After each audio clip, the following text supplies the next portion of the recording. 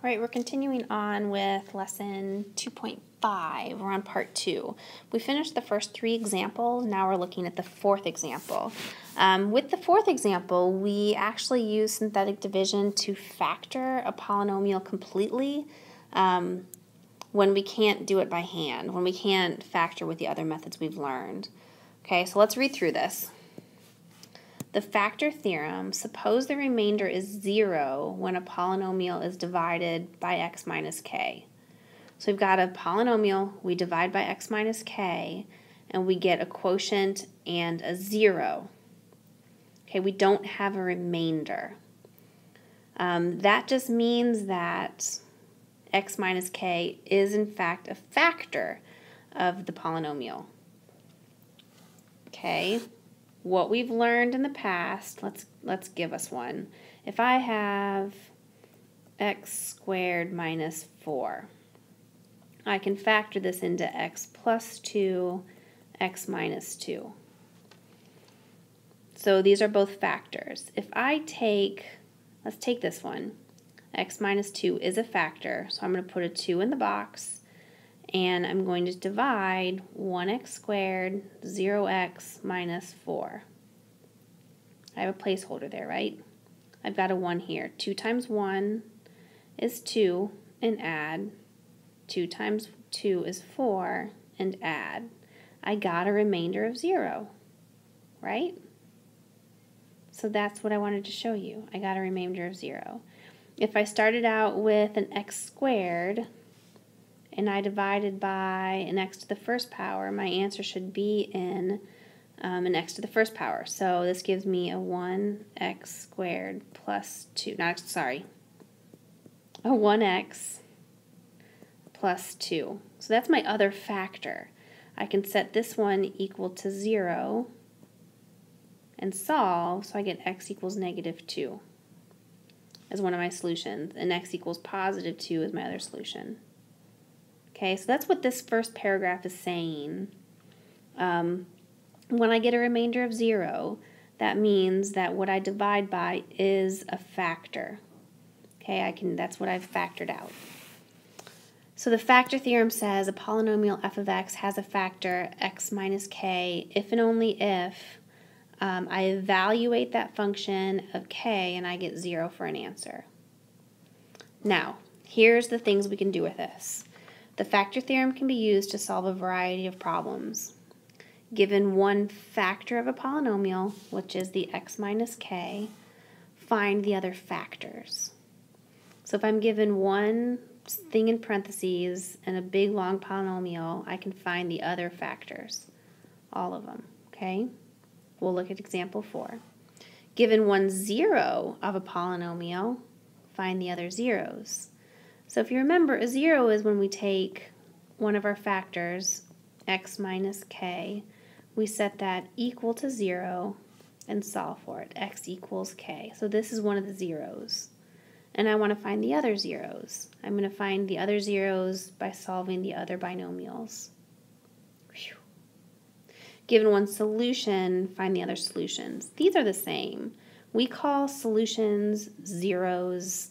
Um, back and forth, back and forth. Solve, find the solution, find the zeros. Okay? So pay attention to each of these examples because there's just going to be one of each. All right, so factor this completely if this is a factor. So if, if that's a factor, they're telling us it is, I should be able to divide, use this as a divisor into my polynomial and get a remainder of 0. So x plus 2 equals 0, x equals negative 2. That's what I'm going to put in the box. All my coefficients, 3x cubed, 4x squared, 28x, and 16. Drop the first one. Um, multiply, add, multiply, add, and multiply. Ooh. Seems to me that I haven't, oh, there we go. Multiply and add. See, I didn't get a remainder of zero. I knew that I had done something wrong. So This means that if I start with a cubed, I divide it by a first power, my answer is 3x squared minus 10x minus 8 and x plus 2. This polynomial factored into those two. But it wants me to factor completely, so I need to take this trinomial and factor it again. I don't see an easy way to do that, so I'm going to try um, our a times c. So 3 times negative 8 is negative 24. That breaks into two numbers that add to negative 10. Um, how about 2 times 12, where 12 is negative? If I add those together, I get a negative 10. So let's factor by grouping. 3x squared plus 2x minus 12x minus 8. Group the first two and the second two. I factor out my greatest common factor, which is an x. And I get a 3x plus 2. And it looks like a 4, a negative 4. And I get 3x plus 2. Factor those, 3x plus 2 and x minus 4 and x plus 2. I have now factored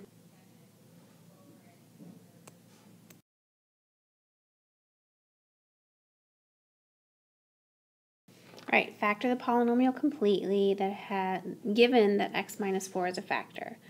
So set this equal to 0 and x equals 4. That's what goes in this box.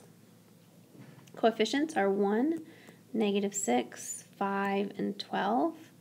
Drop the first one and multiply and add, multiply, add, multiply, and add. We should always get a 0 there. So my polynomial is now in two pieces. I have x squared minus 2x minus 3 and x minus 4. I could multiply these two back and get this as a polynomial. But now I'm going to factor the um, trinomial. a times c is negative 3, um, b is negative 2. So 1 times, 1 times negative 3 does add to negative 2. So I'm going to factor by grouping. Plus x minus 3x minus 3. Group the first two and the last two. Factor out an x. Factor out a negative 3. I get x plus 1, x minus 3, x minus 4. We did it. I could multiply all of those binomials together and get the beginning um, quadnomial, fournomial, foregone. Um, I could get that back. Okay, this is our last example of this kind. Um, it's the same x minus 4 as a factor. So x equals 4 is what I'm dividing by. 1, negative 1, negative 22, and 40. Drop the first one, multiply and add, multiply, add, multiply, add. So I have x squared plus 3x minus 10 Here's my solution so far. Now I need two things that multiply to negative 10 and add to 3. Oh. Um, negative 2 times 5 works. X squared minus 2x plus 5x minus 10. Factor by grouping. 5 x minus 2. So I have an x minus 2, an x plus 5, and an x minus 4. I can multiply those binomials back to get the original polynomial. Okay, that was example 4. Moving on to example 5. Um, says 1 0 of that polynomial is x equals 3. What is another 0? Well, I need to break that polynomial down to find out all the zeros, but I do know when x equals 3, I can divide and hopefully get a polynomial that is factorable. Let's write down our coefficients. You see why um, this is so important? This is so much easier than long division. So multiply, add, multiply, add, multiply, add. So x minus 3 is one of the factors. We want the other ones. So I need to factor further x squared plus x minus 20. So two things that multiply to negative 20 and add to 1. Um, 4 and 5. If I have a negative 4 times 5, I add those to get a 1. Uh, minus 4x. You may be skipping some steps as you go, which is fine if you get it. Oops. Factor out an x and a 5.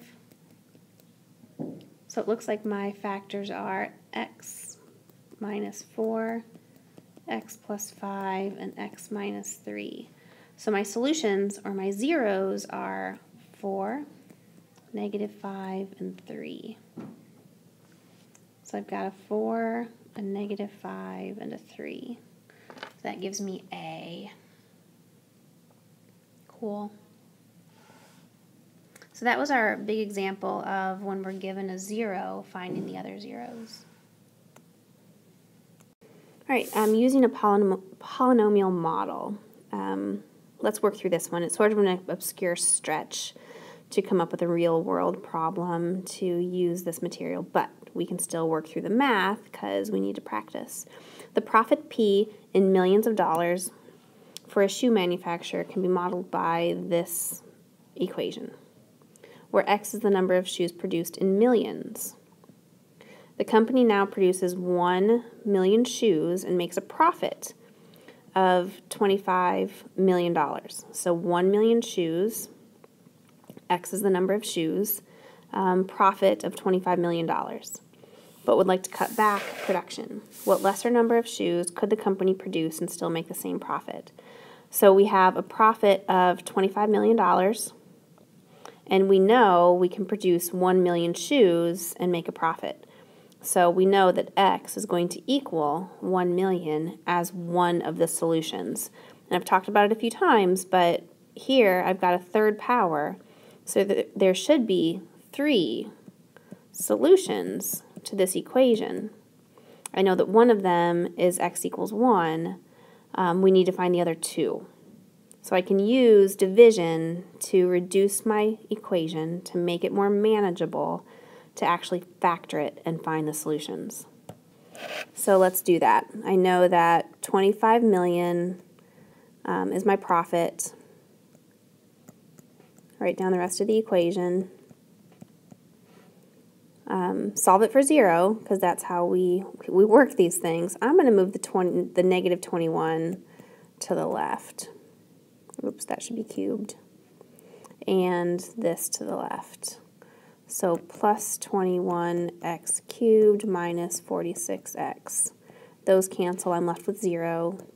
So 21x cubed, 0x squared, minus 46x plus 25 equals 0. I know that this is one of my solutions. So let's do some, some division to reduce my um, to reduce my power, to reduce my degree to a second degree equation. So 1 goes in the box. We write down all the coefficients. And we do some math. So 1 times 21 is 21, add. 1 times 21 is 21, add. 1 times 25, negative 25, is 0. So I'm left with, I've got x minus 1 for one of the factors, then 21x squared plus 21x minus 25. Um, I can't factor that, so I'm going to go to a new slide and use the quadratic formula.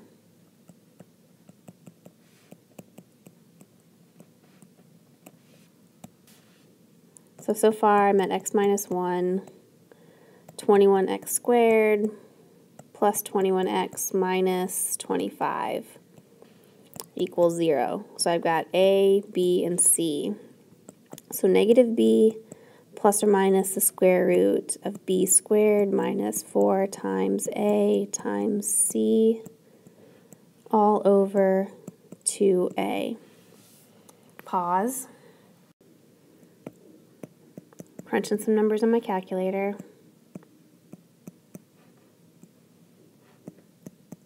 Okay, so I'm just going to do the numbers. Negative 21 plus the square root of 2541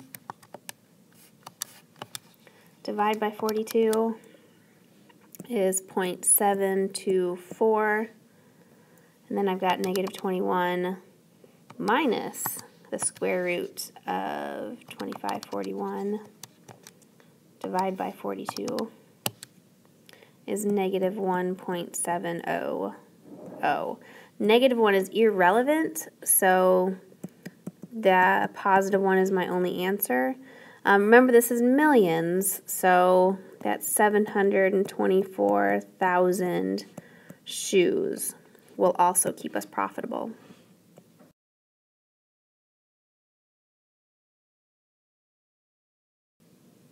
So here's some guided practice. That's just practice, right? Um, we need to practice to make sure um, we know how to do things. So find the other zeros. If we know that um, the function evaluated at negative 2 gives us a 0, then we know that x plus 2 is one of the factors.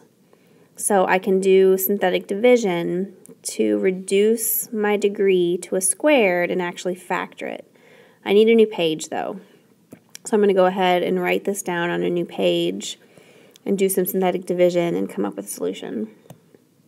So we know f evaluated at negative 2 gives us a 0, gives us a solution. My function is given.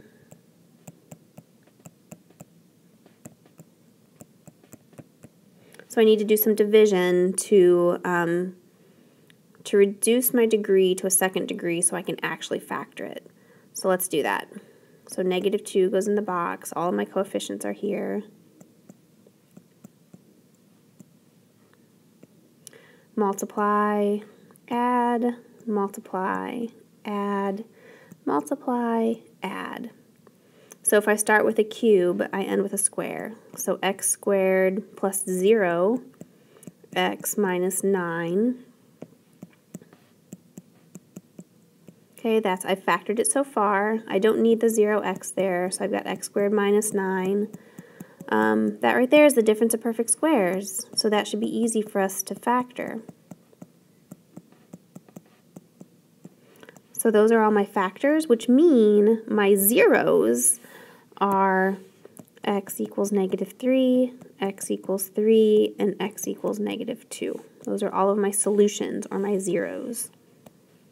The next problem on the guided practice was f of x equals x cubed plus 8x squared plus 5x minus 14. And, um, oh, it's the same thing. Sorry, f of negative 2 equals 0. So that's one of my solutions. I'm going to go ahead and do division with that one to reduce the degree of my equation so I can factor it. So my coefficients are 1, 8, 5, and negative 14. Drop down the 1, multiply, and add multiply and add, multiply and add. So I'm left with x squared plus 6x minus 7 times x plus 2. I can factor that trinomial. a times c is, sorry, a times c is negative 7. So I need two things that multiply to negative 7 and add to 6. Um, negative 1 times, hmm, Negative 1 times 7 is negative 7. I add those, I get 6. So let's factor by grouping. We've done this so many times. I hope it's getting easier. Okay, first two, last two, factor out your greatest common factor. And then a 7. So I have x minus 1, x plus 7. Don't forget the x plus 2. That's everything factored. So if I find the zeros, I set each one of those binomials equal to 0 and solve for x. x equals 1, x equals negative 7, x equals negative 2. Sweet. What if, in example 6, um, how does the answer change if the profit for the shoe manufacturer is modeled by this? Um, we're still going to have 25 equal negative 15x cubed plus 40x. And um, I still assume that one of my solutions is a million shoes. So I'm going to do the same work. Okay, um, I'm not going to do another example for this because we've just done a bunch of them. If you want to work through it, you're going to get about 900,000 shoes. All right, like I've told you guys in the past, our daily homework quiz, um, that's where work these problems out. You need another one to um, to practice. It's a great time to practice. So here, this would be doing long division, right? And here it says to use synthetic division. Linear ones, when we're dividing by a linear equation, we can always use synthetic. When we have something bigger than that, um, we have to do long division. And then um, we're given one zero, so go ahead and do um, synthetic division to find the two other factors to solve to find the zeros. And then another problem. Cool? Nice work.